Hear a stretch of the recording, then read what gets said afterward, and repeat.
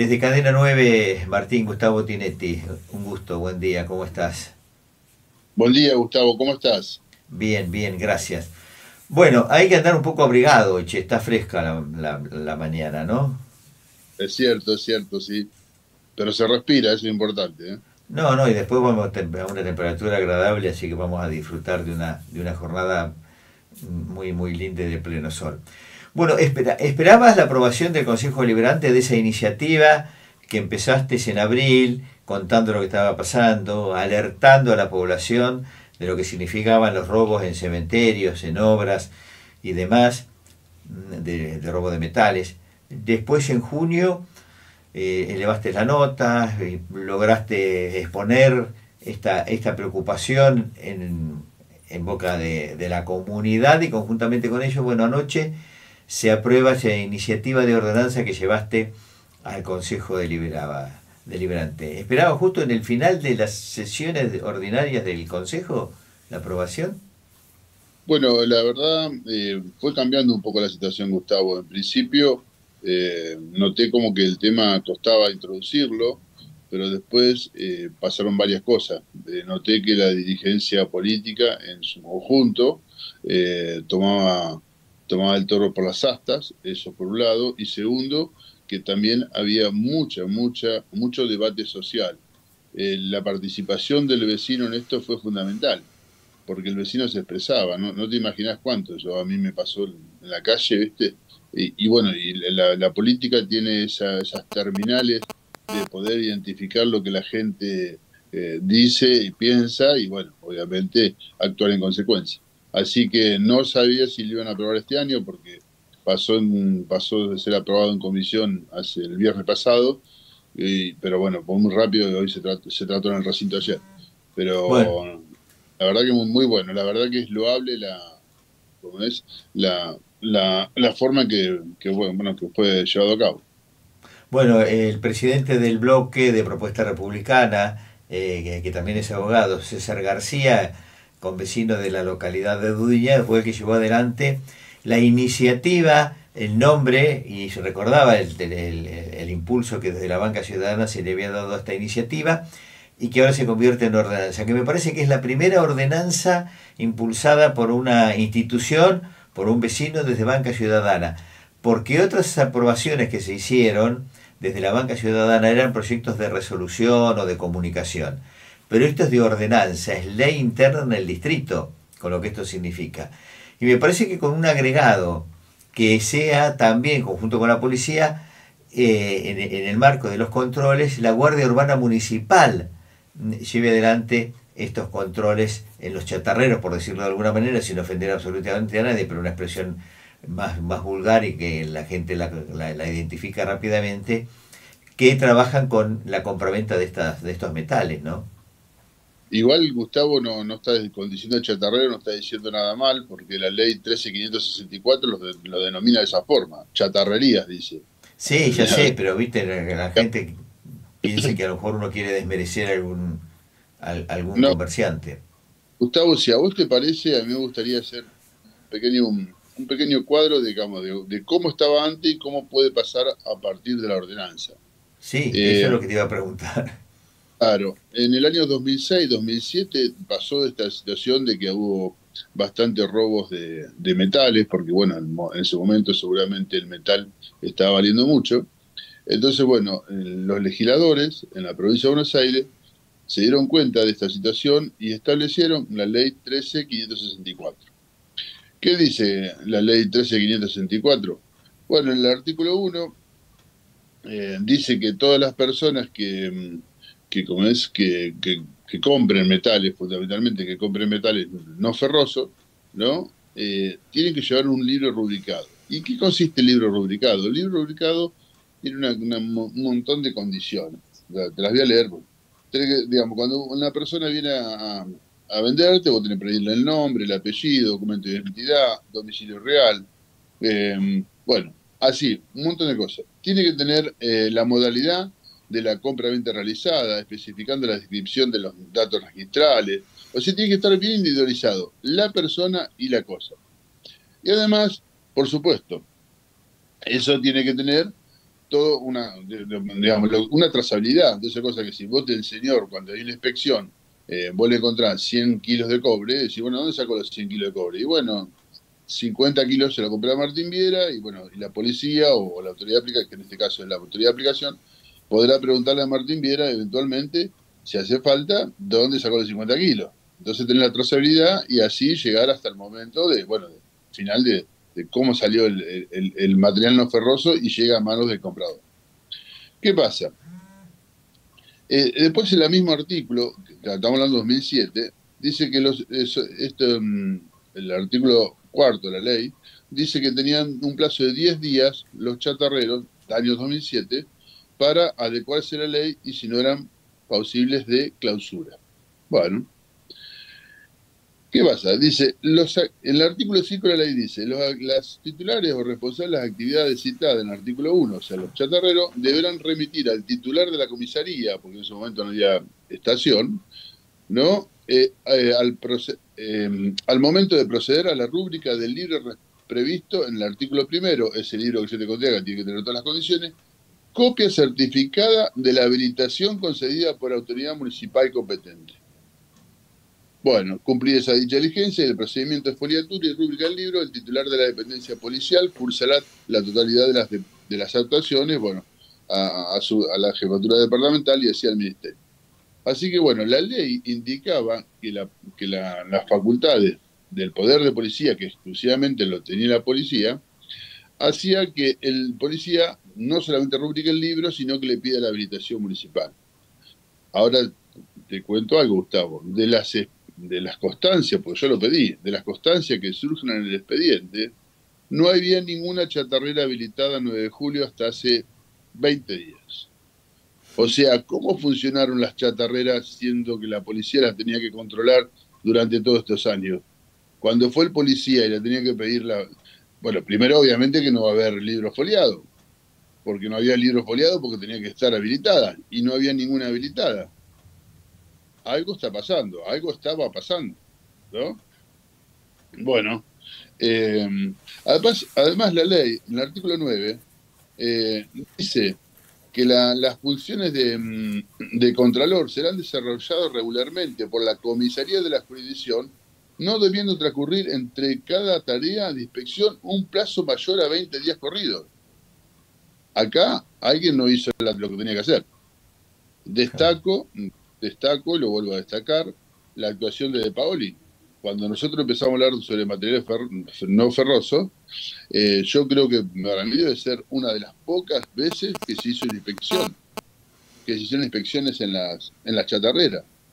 Mientras tanto no se hacían.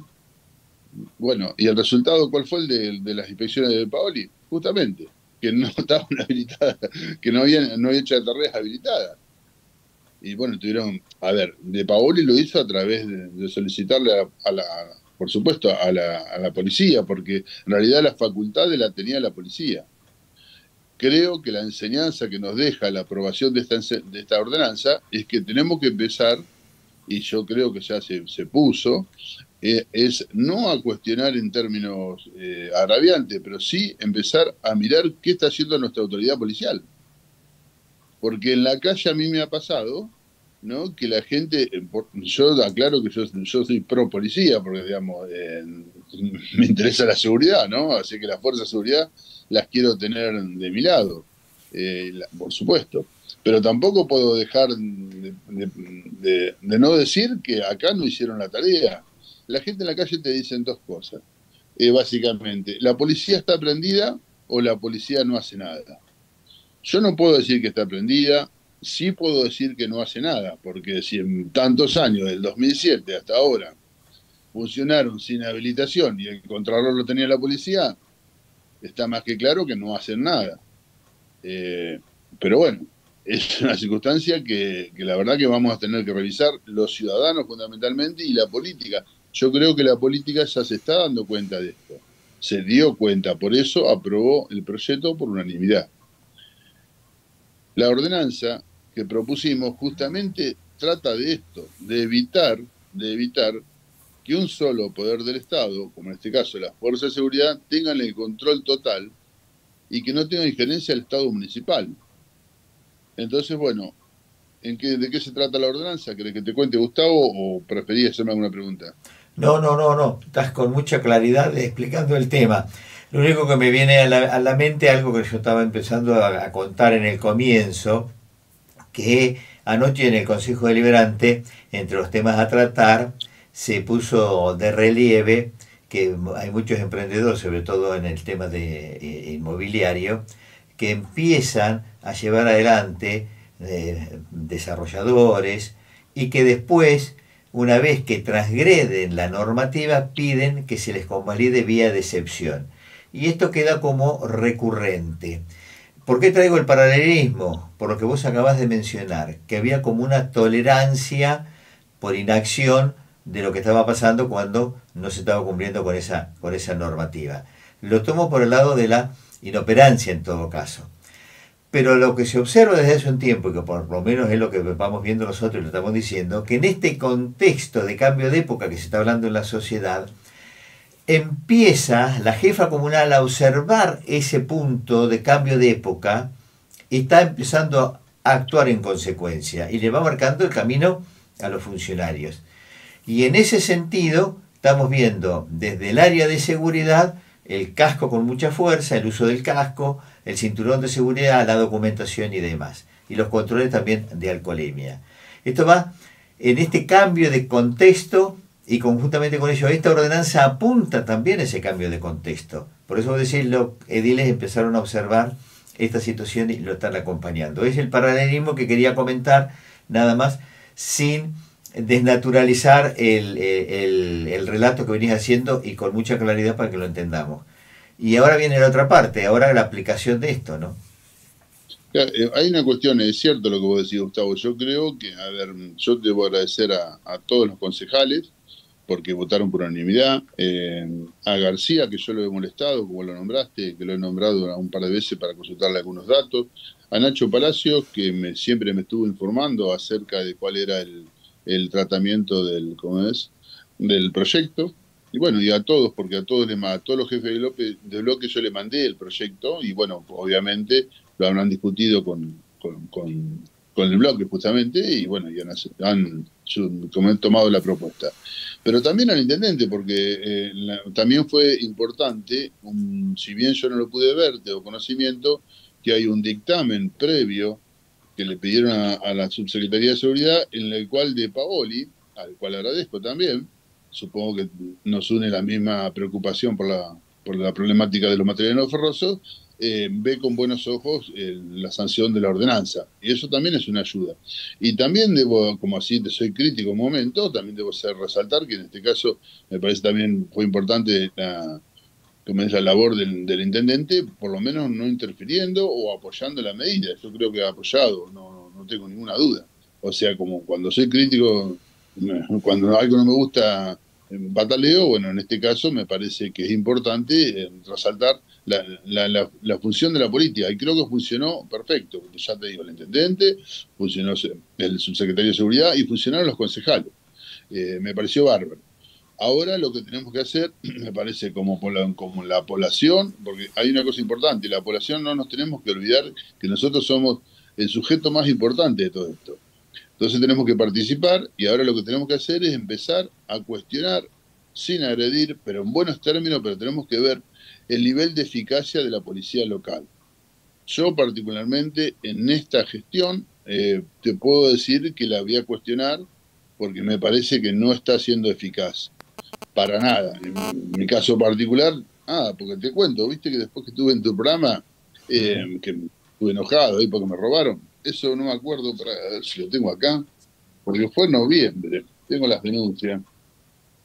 Mirá, una fue, a ver, a ver, a ver, el 5 de noviembre. El 5 de noviembre me robaron. Ya me han robado en febrero, toda la instalación del departamento. ¿Y sabés qué pasó? El 18 de noviembre me volvieron a robar. Me volvieron a robar. Y bueno, o sea, en este año me robaron tres veces. Y la verdad, tuve cero respuesta a la policía. No han logrado esclarecer uno de tres. O sea, el, 100% de resultado negativo. Bueno, vamos a tener que empezar a cuestionar a nuestras autoridades, preguntarles qué les pasa o en qué les podemos ayudar. pero algo está pasando. Y aparte, yo no, voy, a, criticar al comisario, al jefe de estación, comisario, a quien no conozco. Eh, no, nunca lo vi el señor, no, nunca tuve una reunión con él. Pero tres hechos y ninguno, ninguna novedad, pero ni se comunicaron, ni se comunicaron, viste, una falta, digamos. Eh, nosotros siempre tenemos pensado que la, la solución de la inseguridad es interactuando pero tenemos, vemos que tenemos fuerzas cerradas donde no, no dialogan con el vecino.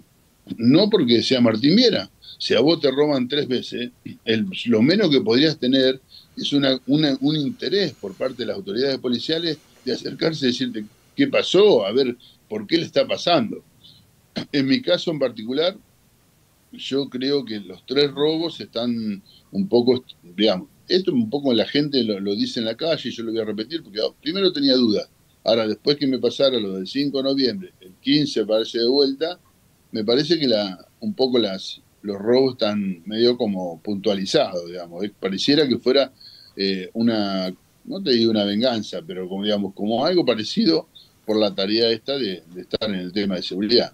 Así que creo que tenemos que empezar a cuestionar a las autoridades policiales pedirle, pedirle que rindan cuenta, o sea, o, colaborar con ellos, pero bueno, para eso necesitamos diálogo. Diálogo que ya te digo, de nuestra parte no siempre estamos, eh, como es, propensos, pero no, no vemos del otro lado, la verdad, eh, es lamentable, pero es así. Bien, y en el marco, como decís, a lo mejor lo podemos ayudar, bueno, eh, insistir en que están faltando casualmente la semana esta, o fin de la semana pasada, este medio tuvo charlando de la problemática de la falta de policías. Eh, y con el comisario que me guencho estuvimos hablando precisamente ese tema que está reflejado en una nota en el, en el viernes o en el fin de semana en cadena9.com, la ausencia de policías hoy. Y esta es una, un clamor que no solo le alcanza a 9 de julio, le alcanza a la región.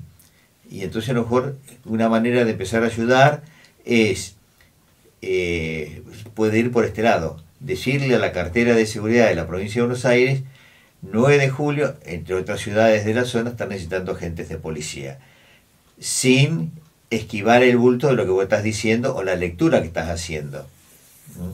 decir, bueno, ¿cómo podemos llegar? Bueno. Leí lo, conozco a en dos o tres veces he tenido oportunidad de, estar en una reunión así grupal, cuando estaba Mariano de Intendente, eh, pero vuelta, vuelta a lo mismo, te quiero decir. Hay una asociación que se dedica a la seguridad. Nunca nos convocan, digamos, no les viste, están como, están como los tipos encerrados en su cápsula, pero además sí está bien que estén encerrados en su cápsula, tiene, yo sé que tiene, la seguridad tiene ciertas normativas a seguir, pero no le está dando resultado. La verdad, eh, vamos a salir próximamente, esta semana no, la otra tal vez, eh, con estadística y te puedo asegurar que son desastrosas es ineficiente la policía 9 de julio. Eh, y la verdad que no, no, tenemos que no tenemos que avergonzarnos, tenemos que asumir la realidad y ver de qué forma lo, solucionamos. Pero es ineficiente. Es muy, muy ineficiente, muy ineficiente. Y vuelta lo mismo. Eh, ya te digo, la, la gente te, básicamente te dice en la calle está prendida o no hace nada. Yo prefiero pensar que a lo mejor eh, falta motivación. No, no, no quiero pensar que esté emprendida en como es, en toda esta situación que uno por ahí relaciona entre la convivencia entre los malvivientes y la policía. Pero la realidad es que la policía no, no da el resultado que tiene que dar. Eso es muy simple, yo creo que sí. Y el mismo policía lo debe saber. Porque, a ver, nosotros somos pro policía, ya te vuelvo a decir, cuando me acuerdo cuando el año pasado, el anteaño, eh, la policía hizo un reclamo salarial, nosotros salimos con una nota apoyando digamos, el reclamo salarial, porque nos parece que, la verdad que era justificado el reclamo. Pero ahora en cuanto a la operatividad, la verdad se nota la ausencia.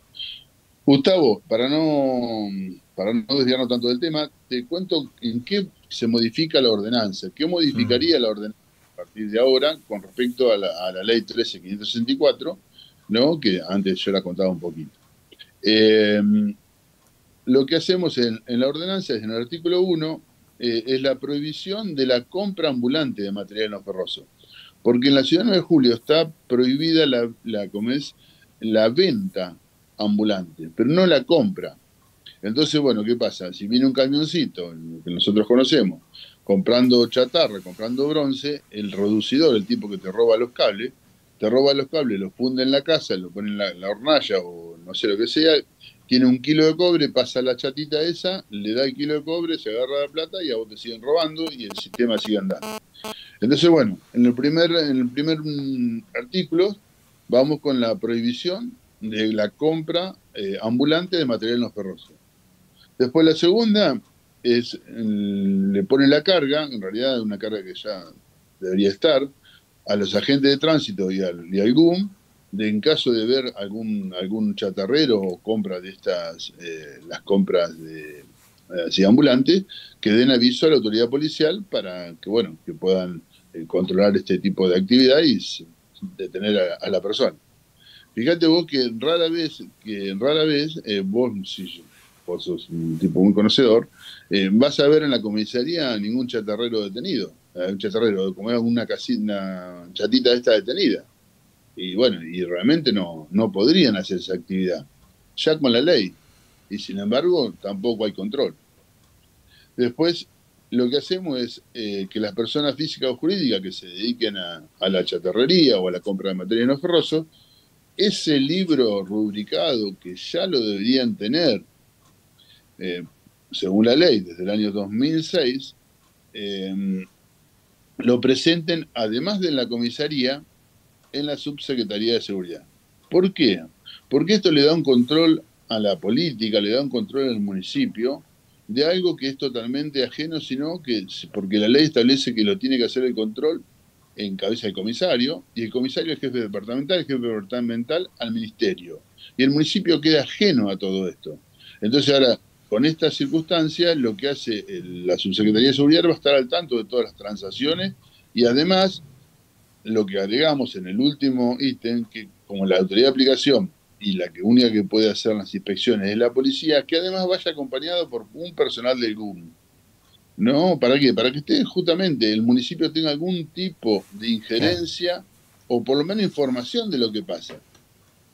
Bueno, esa es un poco la ordenanza. No sé si creo que no creo que se, aprobó sin modificaciones, pero no estoy muy al tanto. No, no, no, no se ha modificado. Eh, se, se, aprobó por unanimidad y conjuntamente con ello, como decíamos en el comienzo, el, el doctor César García hizo la, la presentación, la explicación eh, y unánimemente se aprobó y se leyó en su totalidad por secretaría esta, esta ordenanza que ahora va a empezar a regir una vez que se promulgue por parte del Ejecutivo, que será en, las próximas, en los próximos días. Y paralelamente a ello, bueno, empieza a regir esto que acabas de explicarle a la opinión pública, ¿no? Gustavo, y una cosita más que me gustaría resaltar, más allá de este, yo lo considero un avance, ahora, bueno, ahora tenemos que entre todos los vecinos eh, también un poco colaborar con las autoridades. Si nosotros ahora sabemos que hay una chatarrería o alguien que compra metal en ferroso, bueno, tenemos la posibilidad de ir a la subsecretaría de seguridad y avisar de esta circunstancia, ¿no? Además de la policía. A la policía porque la autoridad de aplicación es madre, pero también a la subsecretaría. Avisar de esta circunstancia para que estos controles existan porque digamos la normativa por sí sola no, no, soluciona nada si nosotros siguen existiendo. Tenemos que de alguna forma ejercer contralor, pero no estamos en contra del chatarrero, para nada, simplemente que lo haga de acuerdo a la ley. Ah, aparte hay una cosa increíble, eh, Gustavo, con esto que nos metimos en las chatarreras es, increíble. Eh, vos sabés que la normativa de la 13564 establece que el, bueno, ya te vuelvo a decir, te decían cabeza del comisario, pero básicamente que cuando va a hacer una inspección, tiene que llevar, eh, tiene que solicitar el libro rubricado, tiene que solicitar la habilitación y la constancia de inscripción en AFIP. O sea que esta gente, esta gente acá, en el caso de los chatarreros, nunca aportaron un solo peso al Estado, al Estado, al Estado. O sea, no pagaron un solo impuesto porque no estaban habilitados, así que no, hay, no hay posibilidad. No hay y mientras tanto, si vos querés abrir un kiosco, Gustavo, te puedo asegurar, una, una familia que, lo, que lamentablemente perdió su trabajo y con indemnización abre un kiosquito, ¿vos sabés la cantidad de normativa que tenés que cumplir para abrir un kiosquito? Y lo tipo esto, ganan fortuna, porque además ganan fortuna, y está bien que ganen fortuna, no pagaban ni un monotributo. Bueno, y esto lo tenía que controlar la policía. Algo no anda bien. Tenemos que revisar estas cuestiones. Bien. Bueno, quedó, quedó clarísimo y a lo mejor en el marco del cambio de época que se está viviendo y que se viene, que tenemos que entender que, que, que, está y creo que llega para quedarse, eh, tenemos que revisar todo este, este comportamiento. Vos decís del vendedor ambulante que anda con el camioncito, tipo del camioncito de la economía. Bueno, hay una disposición de la provincia de Buenos Aires de la década del 50, fin del 50, vigente todavía, que prohíbe dos cosas. El avión que pase publicidad por un impacto sonoro y además por un tema imperativo, vos te tenés que enterar de algo que a lo mejor no querés, o te molesta que estás durmiendo la siesta, o estás en, en, una sala de terapia y necesitas silencio en un hospital o en un sanatorio. Y lo segundo, el famoso camioncito que te que está en las calles, bueno, eh, con publicidad o lo que sea, eso está prohibido. ¿Por qué está tolerado esta norma que te estoy mencionando? Porque por la política, está tolerado por la política, porque lo primero que hacen en las campañas políticas, largan el camioncito o el, o el, o el autito con el parlante atrás, bote, ta, ta, ta, ta. Bueno, eso está prohibido. ¿Y por qué está prohibido?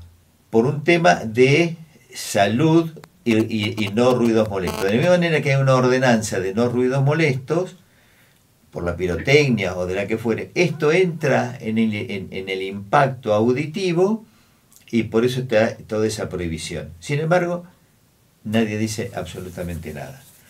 Y los que lo mencionan, y los que lo mencionan, después se convierten a veces en vecinos incómodos de la comunidad por recordar esto. ¿Y cómo te, puede pasar a vos ahora convertirte en vecino incómodo por recordar lo que lo, por describir la situación, por describirla nada más? Mira, Gustavo, yo, yo, yo tengo claro que eh, hacer la tarea que he elegido y que voy a seguir haciendo tiene sus consecuencias. Eh, en principio pensé que los robos eran cuestiones que le pasaban a todo el mundo, pero tres en el año, muy, para mí eso fueron muy puntuales, ¿viste? Medio como que están medio como organizados, ¿viste? A lo último terminó, es lo que la gente me dice en la calle. Pero bueno, ahí hay una cosa que yo quiero destacar que es fundamental y de agradecerte a, a vos, Gustavo, es el papel de ustedes, la prensa. Porque a través de ustedes, nosotros, eh, los que estamos en estas cuestiones o los que están en otras cuestiones, pero que necesitan tener conocimiento público, podemos expresarnos y la gente en la calle después lo valora. Lo valora un montón. Entonces, bueno, la, reproducción de esto que estamos haciendo ahora, o la reproducción de todos estos temas, la información es fundamental y es fundamental el papel de la prensa. Y fundamental el cambio de época que vos decís de los vecinos, porque el vecino, si bien le cuesta, vamos a ser totalmente honestos, le cuesta, le cuesta un poco comprometerse porque por ahí no, no quiere hacer la denuncia, pero conoce al vecino porque lo encuentra en el mercado, lo encuentra en la roticería, lo encuentra en todos lados, pero igual, en el fondo, en el fondo el tipo está repudiando un montón de cosas. Y bueno, y te a mí me la hace saber, no sabes las cosas, de a partir del, de esta, del último robo que yo aparecí enojado en distintos medios, no sabes la repercusión de la gente una repercusión terrible, terrible, te puedo asegurar que increíble. Iba a los negocios y me decía, ah, usted, el que está enojado, tiene razón. Y, le, por lo general es el tema que por el cual yo nunca me puse a cuestionar la actividad policial, pero la gente lo resume en dos palabras. La policía está prendida, la policía no hace nada. Bueno, tenemos si esto pasa, si la gente lo piensa, también lo pienso, yo también lo pienso, porque de tres robos no, no me, no me ninguno. Tenemos que ver la forma de salirlo no agresivamente, pero sí a cuestionar y a modificar el sistema para que de alguna dé resultado. Ayudar, que es el, el, sentido del cambio. Oh. Hacer notar y la importancia para ese cambio y para bien absolutamente de todos. Obviamente, que es claro. lo que los vecinos piden permanentemente, la transparencia, volviéndolo en términos de, de blanco y negro. ¿no? Bien, Martín, muchísimas gracias por el gesto. Pasadita las ocho y media, casi cuatro minutos.